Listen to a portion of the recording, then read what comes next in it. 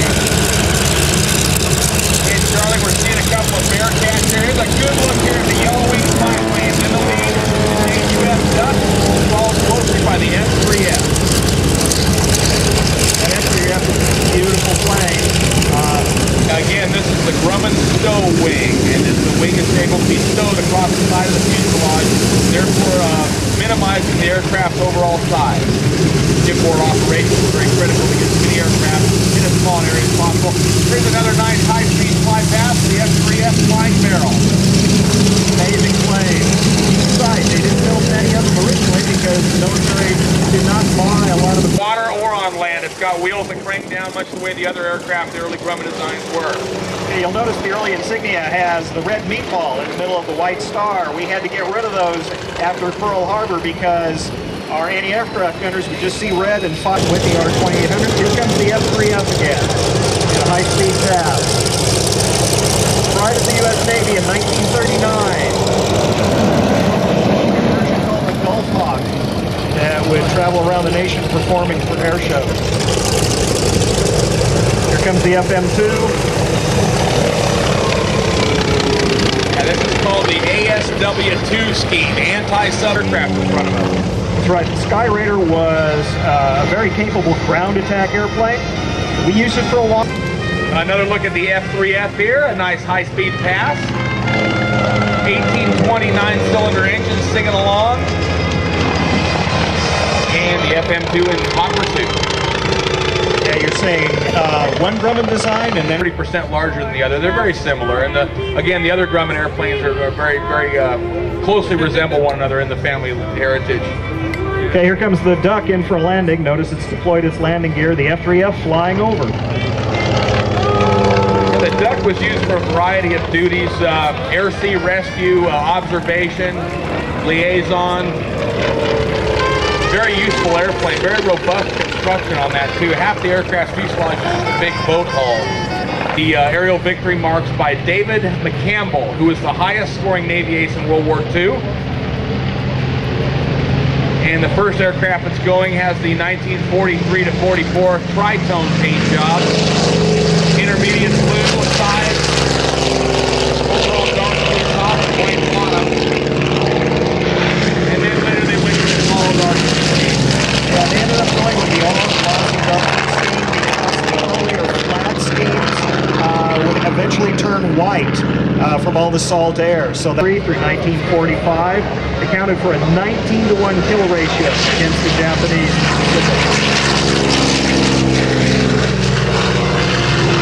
Okay, here we have uh, Corsair taking off. Corsair was not originally okay for carrier operations because it would bounce too much on landing and the pilot sat too far out. Here we have another Corsair. Ira Kepler's partner. Corsairs today are being flown by John Henry, Chuck Wentworth, and Brian Sanders. Now, that you'll notice that the Corsair has an inverted gull wing. Uh, Yeah, as Charlie was saying, the F4U was the very first airplane to employ what was then an 1800 horsepower Pratt Whitney XR 2800 engine. And uh, it, it swung a very big propeller over 13 and a half feet diameter. And to eliminate the long landing gear, they made that gull wing really well. okay, we have a flyover of two Hellcats right now. And a Bearcat taking off. The Bearcat is Grumman's answer to the FW-190. And you'll notice it's a very clean airframe, just like the FW-190. Here comes the Tiger Cat. That, ladies and gentlemen, is a Rumble of 4,200 horsepower. Twin Pratt Whitney R2800 engines. He's producing about 2,100 horsepower. These airplanes were real hot.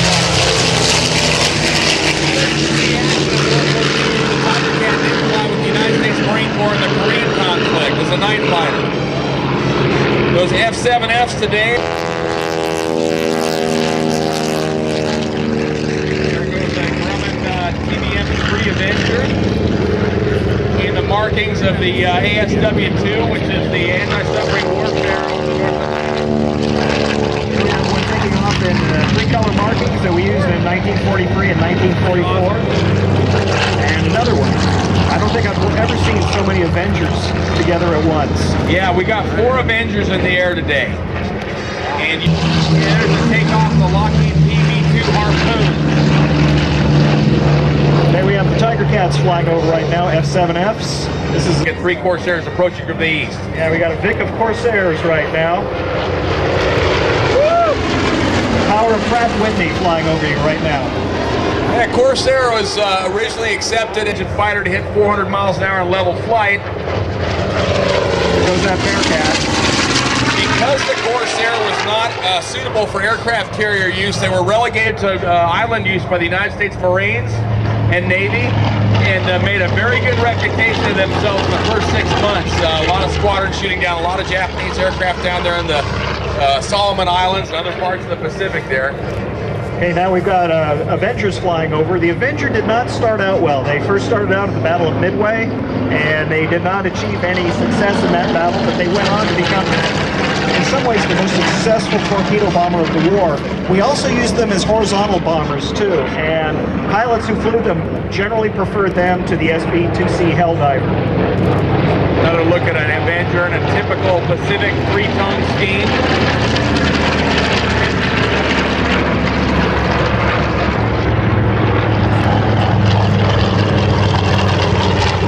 Uh, it's a cyclone R2600 14-cylinder engine, very large 14-cylinder engine powering the Avenger. And here's a look at something you don't see often.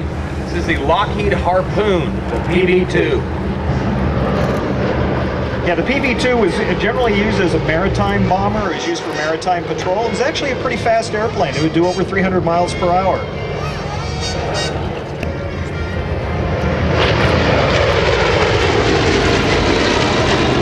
This was a plane that uh, the Marines actually lucked out. They got to use these planes before the Navy. Bearcat, showing how what the Japanese never had to face. We didn't have this one ready in time.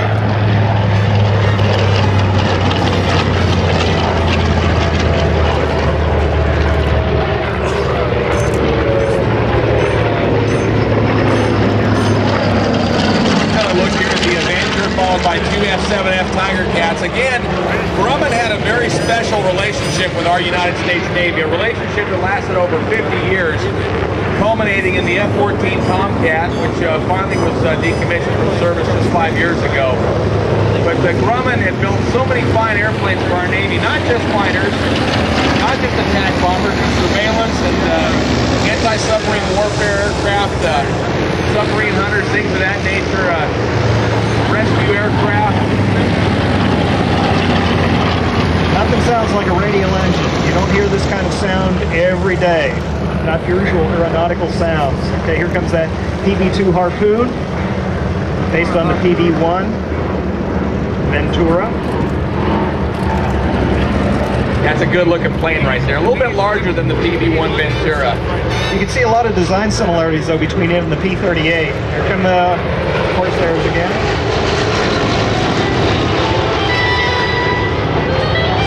Corsair is probably the most famous Navy fighter for the average enthusiast, casual enthusiast, but uh, really the Hellcat actually did more work in the Pacific in a quicker period of time.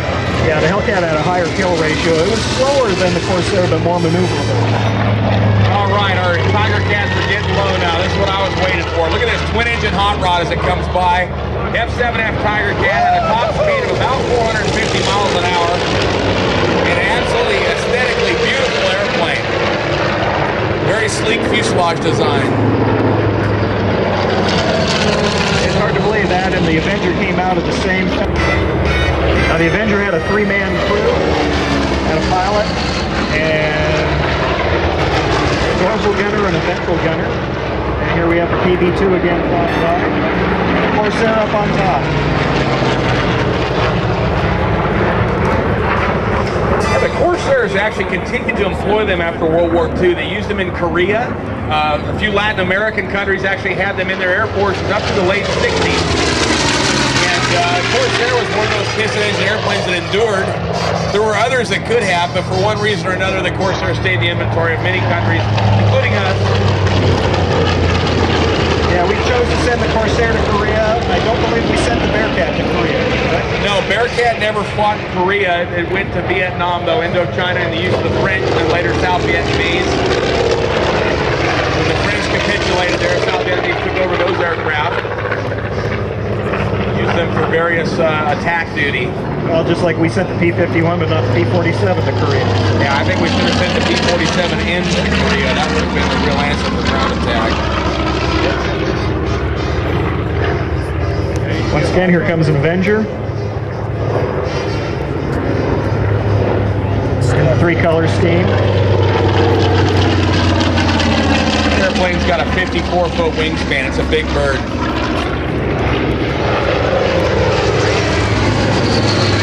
Yeah, the Avenger was a very versatile airplane. It was good for bombing, torpedo bombing, and the pilots who flew it said it was it was demanding, but it was a maneuverable plane for its size.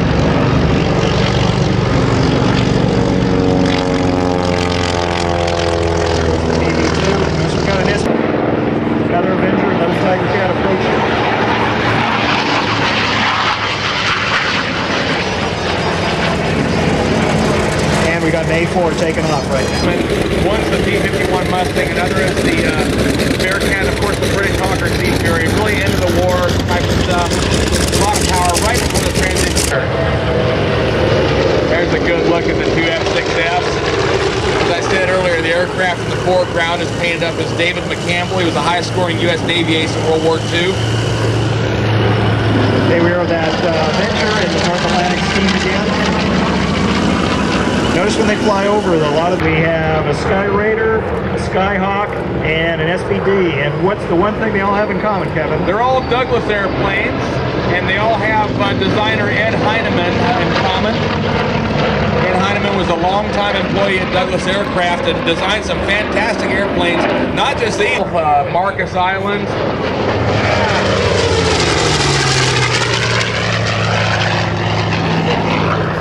That Bearcat's a hot rod. Yeah, late in the war, these piston engine planes got pretty powerful. Another good look at that twin engine F7F.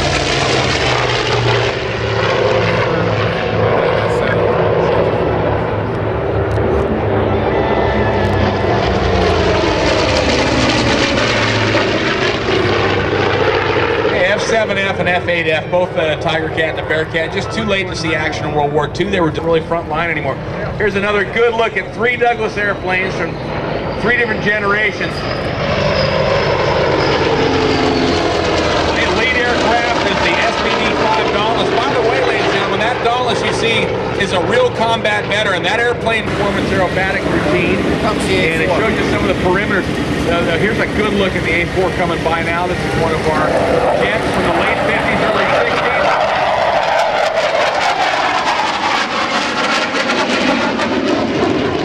This airplane was used extensively during Vietnam, as was the Skyraider. A good look there at the Sky.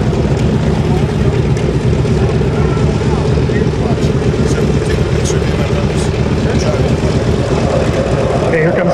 Skyhawk. I think the only thing we're going to see that's faster is the only thing we're gonna see that's faster is the F-15 Strike Eagle later on. Yeah, I remember seeing the Blue Angels perform with the Skyhawk. That was back in the mid to early, uh, early to mid '80s, and I remember it was a very impressive show. Because you know, before that, they flew the F4 Phantom, and you want to talk about a big, heavy gas guzzling airplane, boy. The A4 probably gave them the nimbleness they needed.